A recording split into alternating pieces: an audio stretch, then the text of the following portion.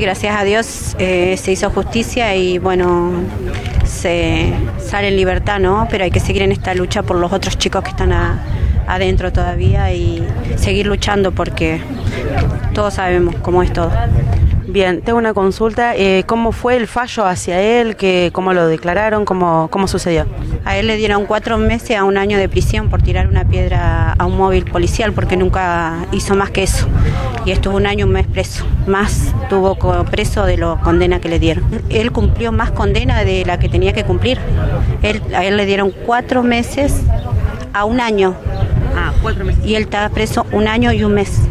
Bueno, entonces contentos de que pueda retornar al domicilio y estar con toda su familia. Sí, gracias a Dios y bueno, gracias igual. La verdad que es una alegría y no, lo creo, a pesar que estuve preso sin justa razón también, eh, no lo pude creer desde adentro el día que me detuvieron y, salir tampoco creerlo, no, no, no, no caigo, no caigo.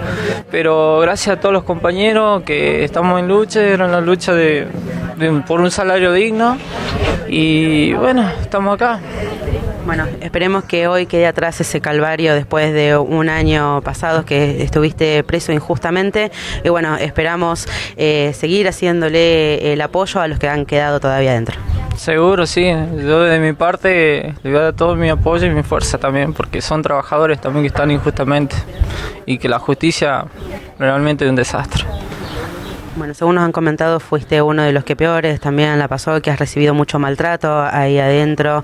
Eh, bueno, como te decía recién, esperamos que eso quede en el pasado y que ahora puedas disfrutar de tu libertad.